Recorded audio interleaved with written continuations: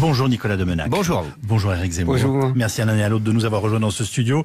Euh, Emmanuel Macron va donc euh, finalement prendre la parole en début de semaine euh, sur la crise des Gilets jaunes. Est-ce qu'il était temps ou est-ce qu'il est d'ores et déjà trop tard? Nicolas Demenac.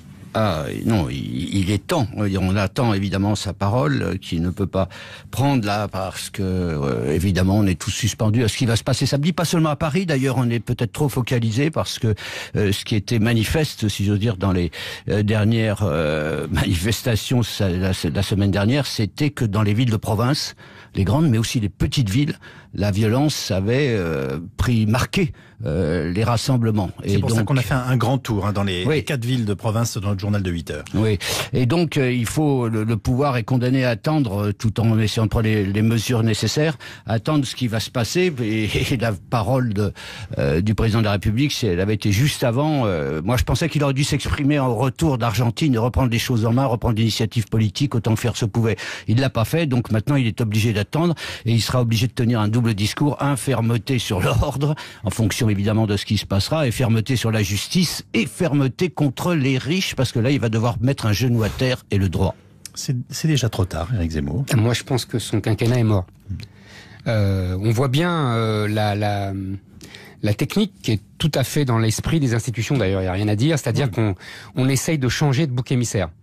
Euh, comme Emmanuel Macron attirait euh, trop de haine et que c'est pas normal dans l'esprit des institutions. Vous savez, j'ai coutume de dire la Ve République, euh, c'est comme les trois mousquetaires. Il y a le gentil roi Louis XIII et le méchant Richelieu.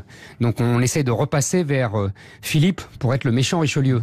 Alors on dit tout a commencé aux 80 km heure. On dit c'est lui qui est rigide, qui a pas voulu. vous voyez, on essaye de tout doucement par, la, par une communication au, habile. Au cirque, c'est le clown blanc et l'autre. Voilà, exactement.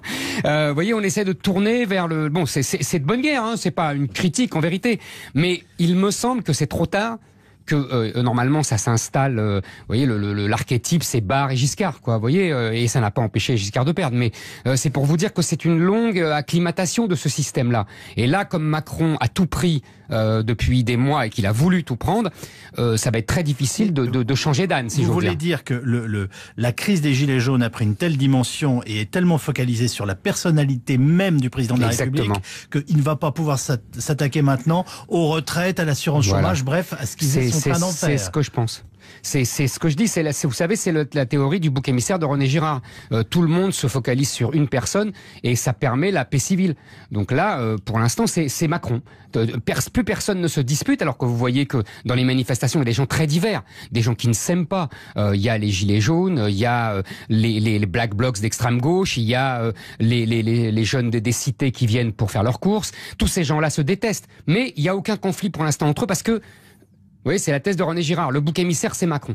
Et, et, et, je suis très frappé de ça. Dans l'analyse d'Éric Zemmour, la logique est que finalement Nicolas Doménac, ouais. le président, n'a rien à nous dire, ou en tout cas ne peut plus rien nous dire. Mais il faut dire que Éric Zemmour peut avoir quelques difficultés à concevoir euh, la nature réelle du mouvement parce qu'il sort de ces catégories. C'est-à-dire qu'il nous a toujours expliqué que le problème de la France, c'était son identité et son rapport à l'immigration. Or là, c'est une question sociale qui est posée par les Gilets jaunes. Fondamentalement, ce sont tous les chercheurs qui l'avouaient aux gémonies, euh, qui réfléchissaient ah, aux inégalités en France, qui là, au fond, peuvent apporter quelque chose. Et le président de la République, dans sa campagne, je veux dire, avait quand même intégré euh, ce qu'il appelait la bienveillance et, et en même temps. Donc c'est vrai qu'il y a une partie de son quinquennat qui est mort. C'est-à-dire qu'il n'a fait qu'un quinquennat de droite pour commencer. Je veux dire, enfin, le début était trop marqué par la droite. Maintenant, il est condamné à faire du social. Est-ce qu'il le peut encore? Éric Zemmour va nous dire que c'est impossible parce qu'il il, n'a pas les concepts pour ça. Moi, je pense qu'on peut encore et qu'il va devoir le faire aussi bien sur le SMIC que sur les retraites hein, et que sur d'autres initiatives qu'il devra prendre pour montrer au fond qu'il y avait un et en même temps dans sa démarche,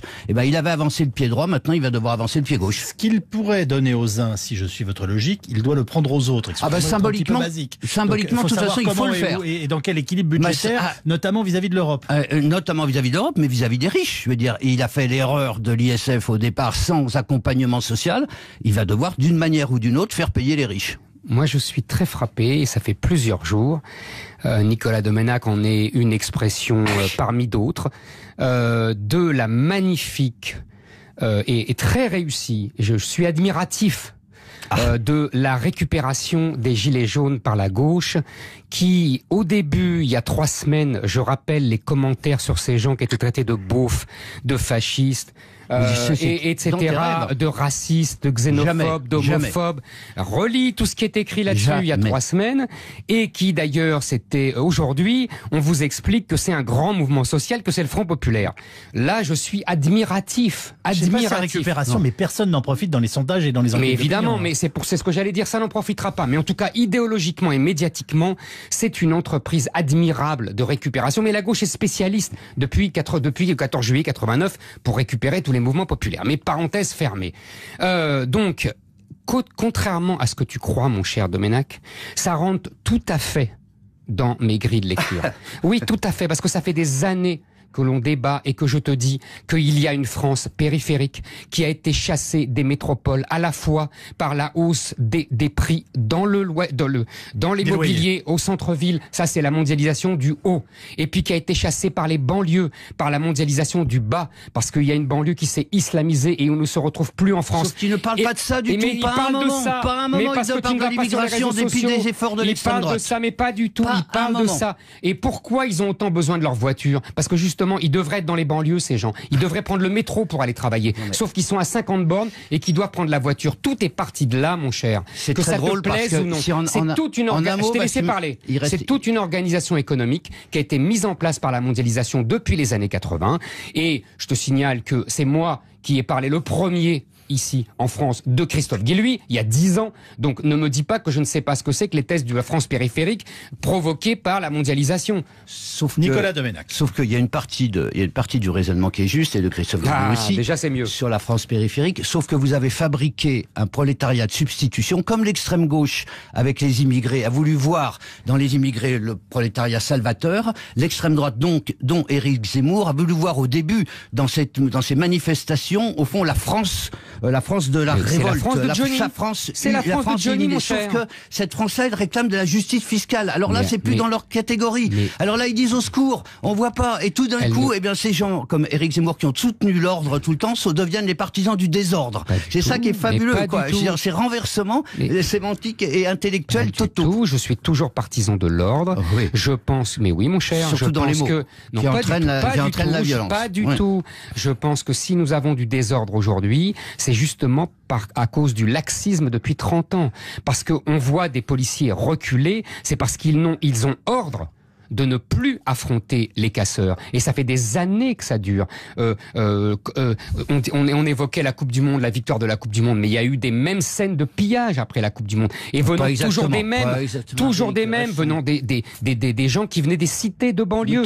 Et c'était, mais si, mais, si, mais si, il y a des images. Il y a maintenant des papiers ce matin dans le Figaro. Les flics parlent enfin. C'est très intéressant. On voit bien, il y a les Black Blocs, il y a les cités des banlieues, et il y a des gilets jaunes qui se laissent emporter par ce C'était écrit noir sur blanc maintenant partout. Il a, fallu, il a fallu 15 jours. On, dépasse l'analyse sociologique, démographique et, de toute façon économique aussi que vous étiez en train de faire. Absolument, économique, c'est fondamental. Est-ce que, est que le tandem euh, du Premier ministre et euh, du chef de l'État peut continuer à se maintenir à la tête de l'État? C'est-à-dire que, euh, est-ce que, est-ce que la semaine prochaine, Edouard Philippe est toujours Premier ministre ah, C'est une bonne question. C'est une bonne question. Moi, je crois qu'il va continuer plusieurs semaines encore. Mais est-ce que ce pouvoir peut continuer? Il le peut, à mon avis, à une condition, c'est qu'ils comprennent que ces gens, ces Français, ont été accablés non seulement de taxes, mais de mépris. Et qu'il y a une logique de l'honneur qui, fait, qui règne en France. Et quand on touche à l'honneur, dans les réseaux, relations sociales, on fait la révolution, on provoque la révolution. Ça, je suis d'accord. Édouard Philippe, en une phrase, s'il vous plaît. Ben, euh, ça correspond à ce que j'ai dit au début. S'ils vont jusqu'au bout de la logique du nouveau bouc émissaire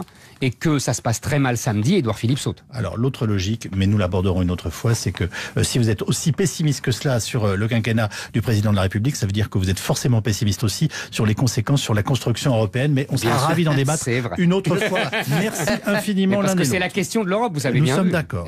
Dans un instant, on retrouve notre curiosité du jour. On va parler médecine et anatomie et en particulier du rôle de nos intestins. Bonjour Thomas Hugues. Oui, bonjour Yves. Bonjour à tous. L'intestin devenu une star depuis le succès du livre de Julia Enders, cette jeune femme médecin en Allemagne, l'intestin qui fait même l'objet d'une expo à la Cité des Sciences et de l'Industrie à Paris. On y apprent que l'axe digestif, qui commence dès notre bouche, est l'un des trois grands réseaux qui structurent nos fonctions vitales avec le sang et les nerfs. Un réseau qui influence nos sensations et même nos émotions. Tout notre système digestif est en effet recouvert de centaines de millions de cellules nerveuses connectées directement au cerveau et plus particulièrement dans la zone du cerveau reliée à la gestion des sentiments, de la peur, de la mémoire et de la moralité. On sait par exemple que la digestion de certains acides gras encourage la sécrétion de dopamine, l'hormone du plaisir. Voilà pourquoi j'ai compris enfin en plein régime, je culpabilise en me disant mais pourquoi ce qui est gras est si bon? À l'inverse, certaines intolérances alimentaires bloquent